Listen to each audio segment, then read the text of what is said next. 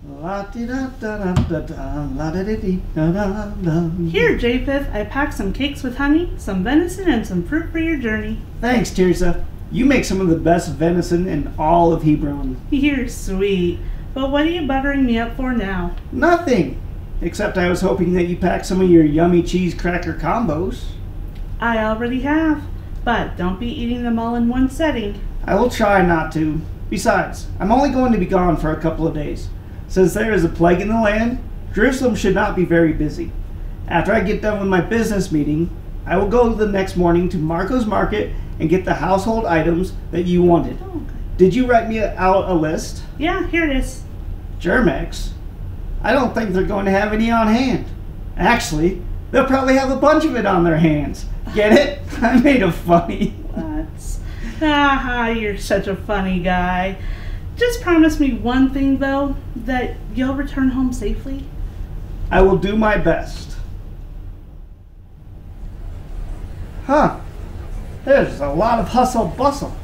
I wonder what's going on. Oh, excuse me, young lady. Yeah? Young lady, Yeah, how can I help you? what is all the commotion about? The Romans are taking the Messiah to Golgotha to crucify him. Why are they going to crucify Jesus? What horrible crime did he commit? Apparently, the Sanhedrin accused Jesus of blasphemy, saying that he claimed to be king of the Jews. Really? Yeah, they brought him before Caiaphas, who found him guilty of blasphemy. That is horrible. Right? Then the next morning, they took him to Pontius Pilate. You know, the governor's custom is to release a prisoner to the people. No, I did not. Yeah, it is. So, being that Pilate found no fault in Jesus, he tried to trick the people. How did he try to trick them?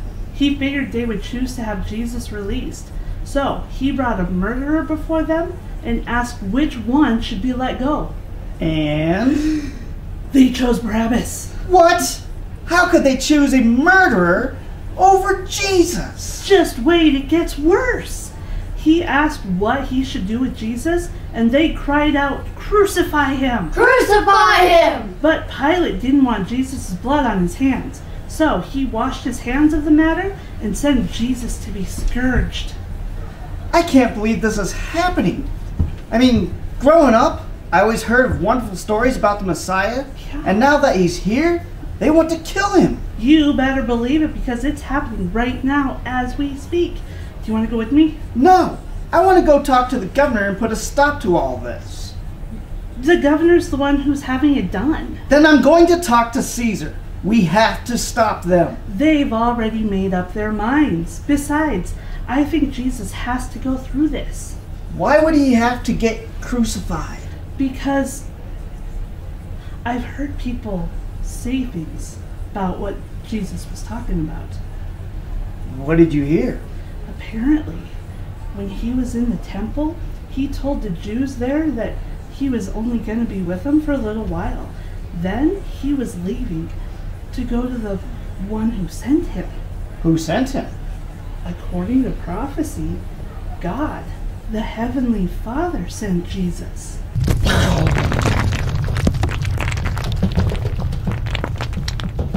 What, what was that? I don't know. We should go to Calvary and see if anybody else felt the ground shaking.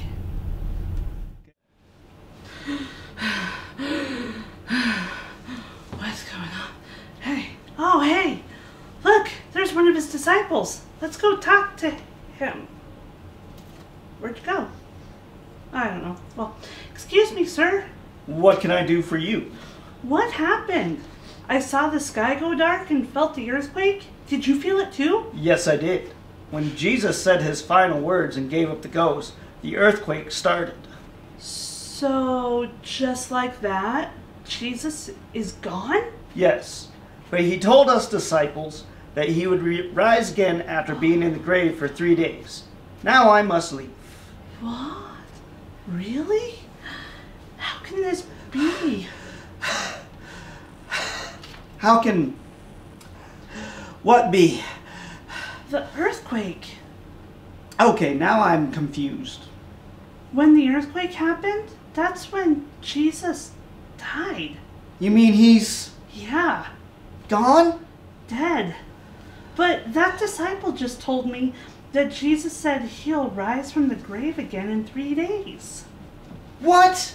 How can that be? I'm not sure. All we can do now is wait to see what happens in three days.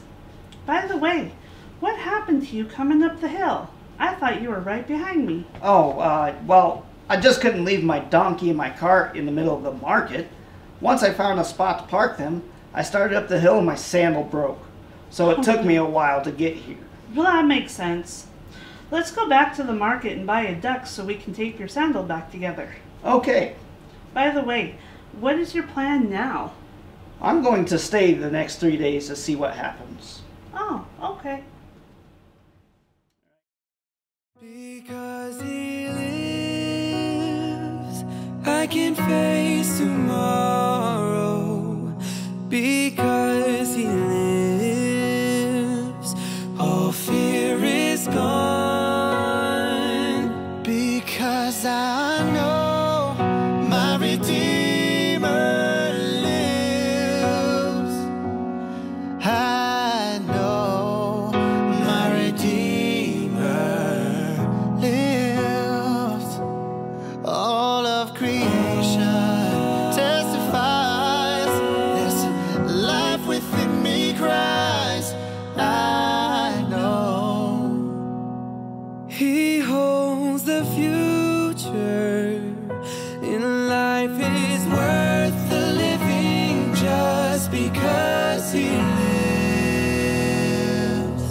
very same God that spins things in orbit runs to the weary, the worn, and the weak. And the same gentle hands that hold me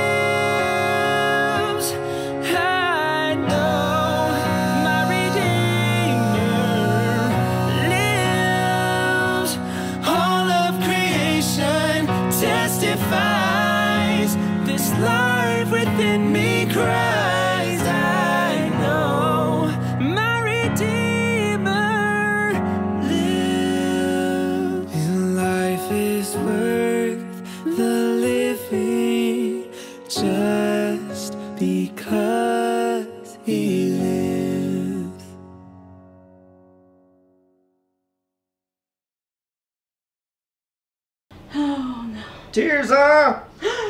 Tirza! What happened to you? You said you were going to be gone for two days, and it's already been four. And where's the stuff from Marco's Market? Wait till you hear the story I have to tell you.